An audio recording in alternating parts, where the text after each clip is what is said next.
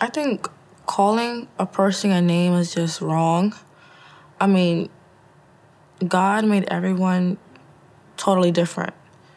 And some people grew up, you know, maybe more richer, more poorer than you. And I mean, I didn't come out tall or, you know, more fatter. That's just, this is just me. So I know everyone has their own opinion, but just calling someone a bad name, which is not their official name, is just wrong. Any racial discrimination is wrong. Um, about their religion or being gay is wrong. That's just the way how they feel.